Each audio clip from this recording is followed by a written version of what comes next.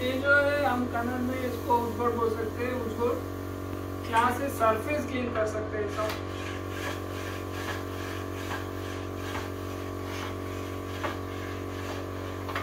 Surface clean कर सकते हैं।